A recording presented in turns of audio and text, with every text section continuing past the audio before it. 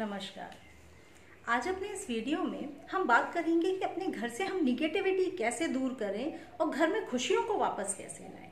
बहुत बार हमको ऐसा फील होता है, अपने घर में ही हमको भारीपन महसूस होता है।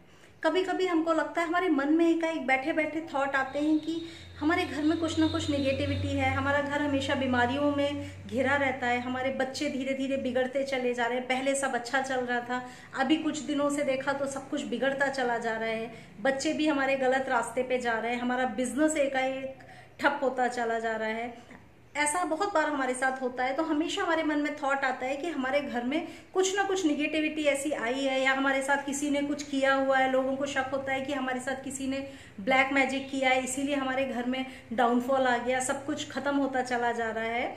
घर में आपस में भी लड़ाई झगड़े हो रहे हैं परिवार में सदस्यों में भी आपस में मनमुटाव हो रहा है।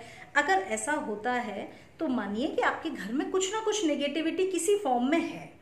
तो आज हम वही कोशिश करते हैं कि किस तरह से हम इस निगेटिविटी को निकालें और अपने घर में वापस खुशियों को लेकर आए। बहुत टफ चीज़ नहीं है। निगेटिविटी को निकाला जा सकता है। रेकी में बहुत सारे मेथड्स होते हैं। रेकी के अलावा भी मैं आपको बताऊँगी।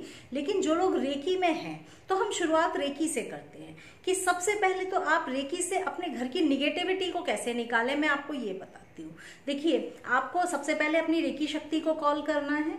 उसके बाद घर, जिस तरह हम अपनी और क्लीनिंग करते हैं, उसी तरह आपको स्पाइरल चौकुरे से अपने घर के हर कोने में घर के कोने कोने में जाकर स्पाइरल चोकरे से क्लीन करते जाना है। दो मेथड है। या तो आप चाहें तो पूरे घर में जाकर क्लीन करते जाएँ, या फिर आप एक जगह पर बैठकर इंटेंशन दें, अपने मन में विजुलाइज करें, अपने पूरे घर को, हर कमरे को विजुलाइज करें और उसको स्पाइरल चोकरे से क्लीन करते जाएँ।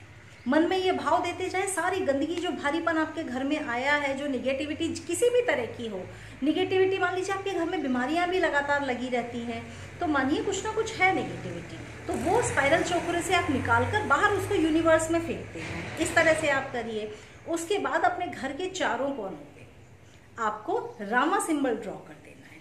रामा सिंबल जहाँ रहता है, वहाँ पर निगेटिविटी कभी नहीं रहती। तो अपने घर के चारों कोने पे बड़े बड़े से आपको रामा सिंबल ड्रॉ कर देना है और हीलिंग देनी है कि रामा सिंबल सारी निगेटिविटी को बाहर निकाल के आपके पूरे घर को प्रोटेक्शन दे रहे अपने घर के दरवाजे पे भी आपको चोकुरे बना देना है और रामा सिंबल बना देना है। तो इस तरह से पहले तो आपने रेकी से शुरुआत की कि सारी गंदगी आपने निकाली और रामा सिंबल को वहाँ पे स्थापित कर दिया। तो ये बात हो गई रेकी की। अब दूसरे हम रेमेडीज पे बात करते हैं। हम आते हैं जीबो सिंबल्स पे। देखिए, जब भी घर की निगेटिविटी निकाली, घर में खुशियाँ लानी है तो देखिए, ये सिंबल ये खुशियों के लिए सिंबल है हैप्पीनेस का सिंबल है। ये ऐसा सिंबल है जिसको आप अपने घर में चार छह बार अगर ड्रॉ करेंगे तो आपके घर में खुशियाँ आएँगी, सब फॉर्म में खुशियाँ आएँगी। खुशियाँ, ये ना समझा जाए कि खुशियाँ पैसों से आती हैं, खुशियाँ परिवार के सदस्यों से आती हैं। परिवार के सदस्य आपस में मिलजुल कर रहें, बच्चे एग्ज़ाम्स में अच्छा करें, बच्चे पढ़ाई में मन लगाएँ तो ये सब चीज़ें खुशियाँ इस तरह की खुशियाँ ये सिंबल लेकर आएगा। जब भी घर में ऐसा लगे कि पहले आप लोग सब लोग बहुत खुशहाल मिलजुल कर रहते थे, सब बैठकर साथ में खाना खाते थे, वो वाला दौर खत्म हो गया है तो आप इस सिंबल को डालते जाए एक बार रेकी से निगेटिविटी निकालिए उसके बाद घर के कोने कोने में ये सिंबल डालें आप। चार छह बार इस सिंबल को दिन में आप डालें। आप चाहें तो बड़ा सा ड्रॉ करके भी अपने लिविंग रूम में लगवा लीजिए, जहाँ पर आप सब लोग बैठते हो, एक साथ आप टीवी देखते हो या खाना खाते हो, वहाँ पर इसको फ्रेम करके आप इस सिंबल को डलवा दीजिए। परिवार के सदस्यों में, घर में खुशियाँ बनी रहेंगी हमेशा। जहाँ ये सिंबल रहेगा, वहाँ पर खुशियाँ हमेशा रहती हैं। तो इस सिंबल को डालें। चार छह बार ना पूरे घर के कोने कोने में भी इसको रोज डालें। जब भी आप नहाने जाएँ पानी में इसको डालें। खाना बना रहे हैं आप आ, कुकिंग के टाइम में आप खाने में इस वाले सिंबल को ड्रॉ करते जाएँ। एक बार इसको बनाना सीख लें और जिस भी चीज़ में जो भी आप सब लोग पानी पीते हो आप उस पानी में भी ये सिंबल डालें। मतलब हर चीज़ जो भी चीज़ आपके परिवार के सदस्य कंज्यूम करेंगे वो सिम वो खुशियाँ वो उनको खुशियाँ देगी अगर आपने इस सिंबल को ड्रॉ किया है तो, तो इस तरह का ये सिंबल जीबू सिंबल होता है जिसको हम हैप्पीनेस के लिए यूज़ करते हैं। इसके अलावा आपको एक रेमेडी और बताती हूँ कि जब भी घर में कभी कोई लड़ाई झगड़ा हुआ हो या घर में बहुत टेंशन तनाव का माहौल रहता हो। मान लीजिए किसी टॉपिक पे आपस में आप लोग उलझ रहे हैं और घर में लगातार परेशानियाँ चली रही हैं, कुछ खत्म नहीं हो रहा, तब आपको एक रेमेडी करनी है। देखिए, दो चीज़ें।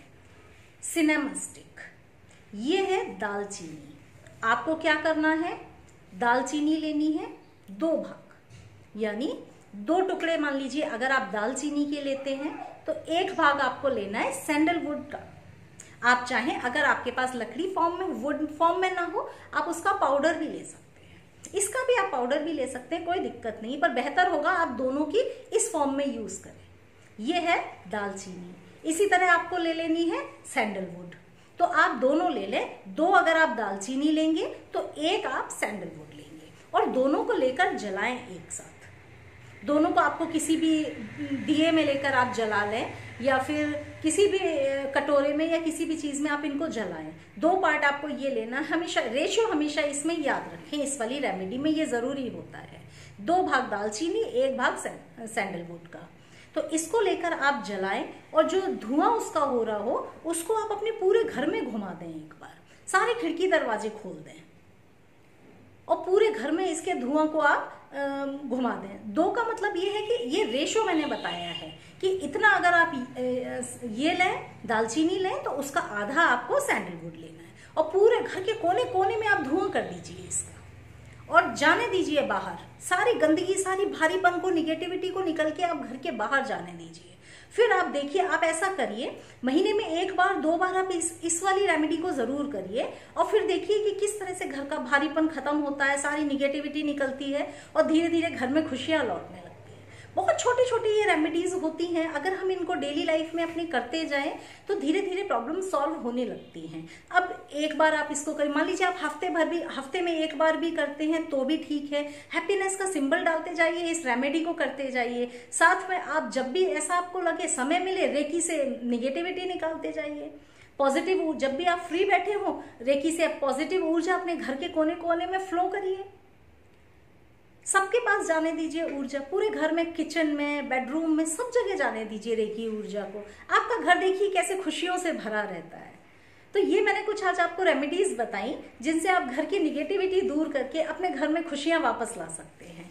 तो साथियों, कुछ और अगर आप जानना चाहें या रेकी मुझसे सीखना चाहें तो आप मुझसे बात कर सकते हैं। धन्यवाद।